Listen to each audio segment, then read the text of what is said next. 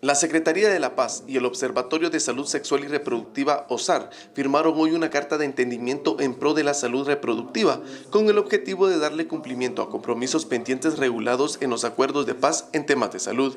Mirna Montenegro, representante de OSAR, enfatizó en la aprobación del decreto 13-2017, donde se indica la acepción del casamiento en personas menores de edad, aprobado por el Congreso de la República.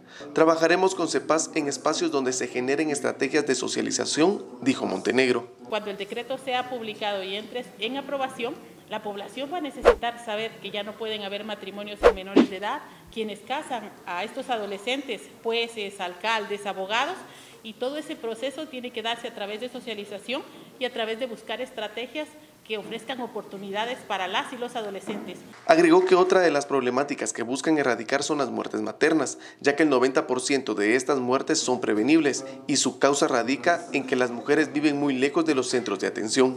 El monitoreo que tenemos durante el primer semestre del 2017. Estamos hablando de 1.238 nacimientos en niñas entre los 10 y los 14 años estamos hablando de 1.238 casos de violencia sexual. Si hablamos de embarazo, de partos en adolescentes, que es entre 15 y 19 años, estamos hablando de 35 mil nuevos ciudadanos y ciudadanas en este primer semestre, cuya madre es una adolescente menor de 19 años. Por su parte, Lourdes Chitumul, titular de la CEPAS, informó que también se estará trabajando en conjunto con el Ministerio de Educación y Salud Pública y Asistencia Social para identificar los factores y reducir los casos en embarazos en menores de edad. Para TCA TV informó Noé Pérez.